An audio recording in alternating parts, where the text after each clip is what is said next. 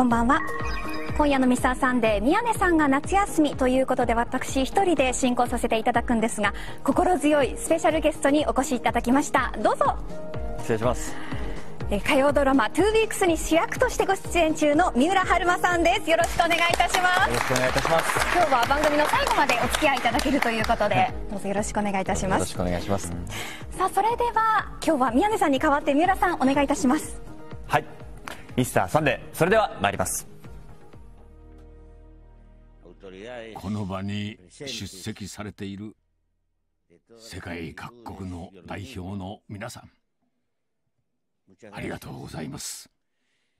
お招きいただいたブラジル国民そして大統領閣下に感謝します。これまでに発言されたすべての方々が表明された誠意にも大いに感謝いたします。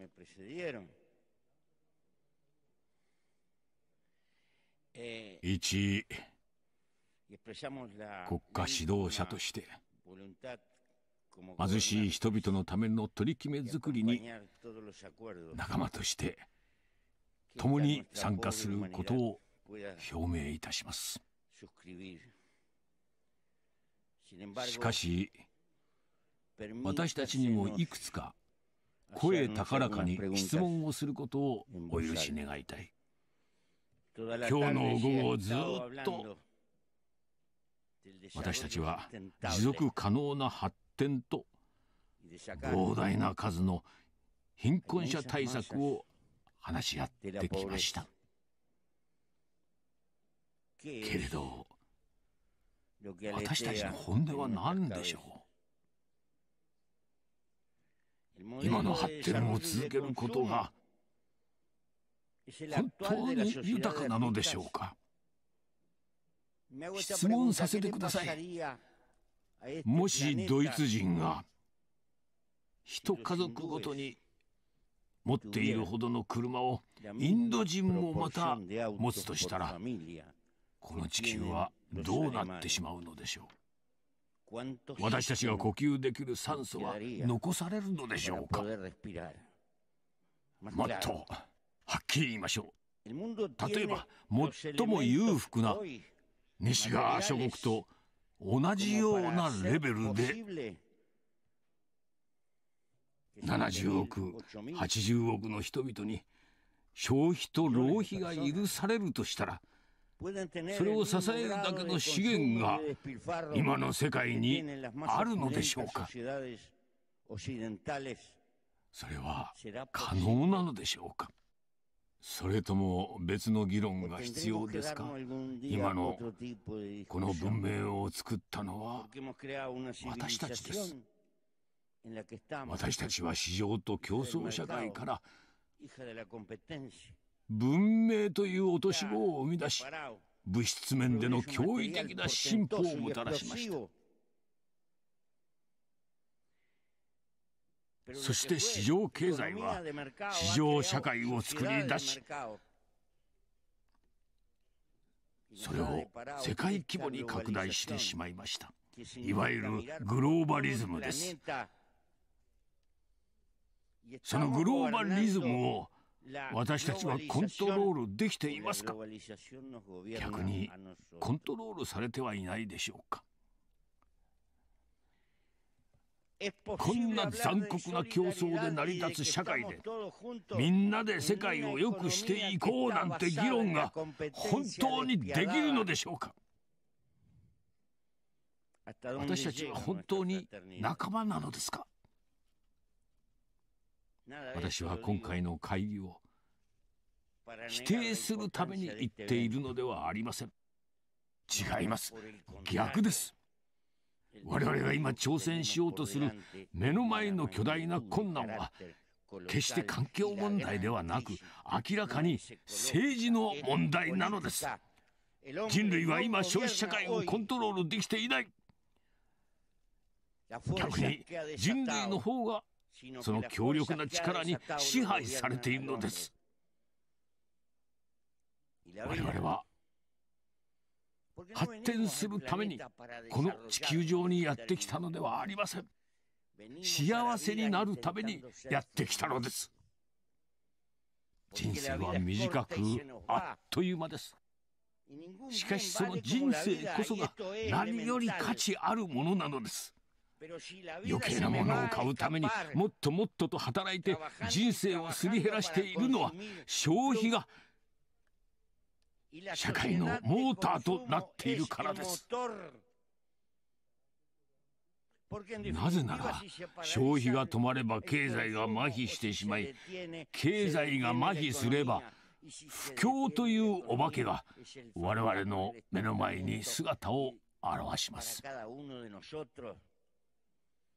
しかし今この行き過ぎた消費主義こそが地球を傷つけさらなる消費を促しています。商品の寿命を縮めできるだけ多く売ろうとする。今の社会は1000時間持つような電球は作ってはいけないのです。本当は10万時間20万時間も持つ電球はあるのにそんなものは作らない。なぜなら我々はもっと働きもっと売るために使い捨て文明を支える悪循環の中にいるからです。これは政治問題です。我々は今までと違う文化のために戦い始めなければならない。石器時代に戻ろうとは言っていません。このままずるずると消費主義に支配されるわけにはいかない。私たちが消費主義をコントロールしなければならないと言っているのです。ですから私はこれが政治問題だと言いました。とても謙虚な思いからです。かつての賢人たちエピクロスやセネカそしてアイマラ人たちは次のように言っています。貧しい人とは少ししか物を持っていない人ではなくもっともっとといくらあっても満足しない人のことだと。大切なのは考え方です。だからこそ皆さんと共にこの会議に参加し国家指導者として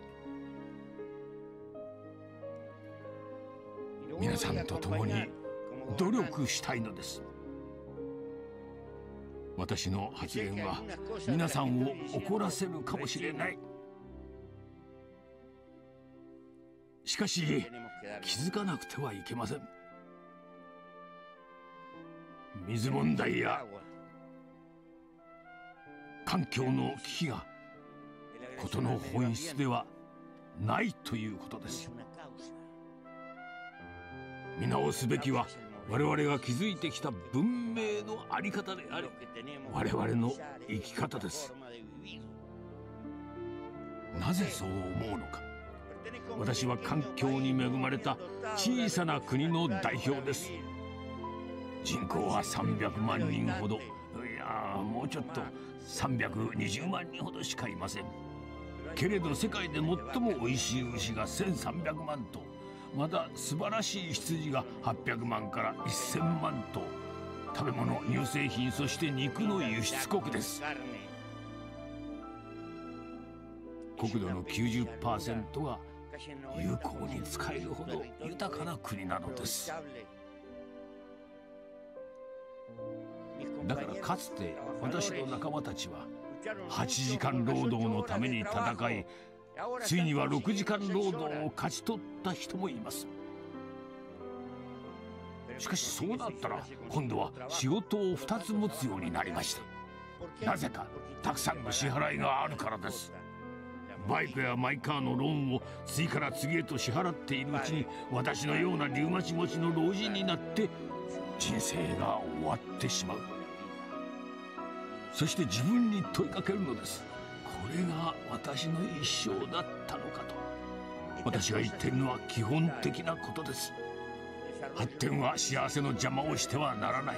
発展は人類の幸せ愛子育て友達を持つこと。そして必要最低限のもので満足するためにあるべきものなんです。なぜならそれらこそが一番大事な宝物なのだから。環境のために戦うのなら一番大切なのは人類の幸せであることを忘れてはなりません。ありがとう。ということでどうご覧になりますか？個人のその私利私欲ではなくって100年後のじゃあ子供たちじゃあこの国がどう豊かになっていくべきなのかっていうことを一人一人がもっと真摯に考えてあげるっていう世の中をすごく五代さん目指していたはずだし五代さんが思い描いていた素晴らしい将来の日本っていうことを微力ながら多分お客様に届けられるんじゃないかなっていうような期待をうんしたいなっていうふうに思ってます。男が世界を三浦さん。はい。おりゃ背負い投げです。さあそしてここで三浦春馬さんからお知らせです。はい僕が出演しているドラマ「2weeks」が毎週火曜日夜9時から放送中です。えー、殺人の濡れ衣を着せられた、えー、主人公がですね白血病の娘の命を救うために奮闘する2週間の逃亡劇です。これまでずっとあのハラハラドキドキの逃亡を続けてきたんですけれども次回放送の第6話から、えー、ついに主人公の反撃がスタートになります。新たな戦いが始まりますのでこれからも十分楽しめる内容になっていると思います。はい火曜夜9時どうぞ皆さんご覧いただきたいと思いいます、今日は三浦さん最後までお付き合いいただきありがとうございました。ミスターサンデーはまた次回9月1日にお会いします。それでは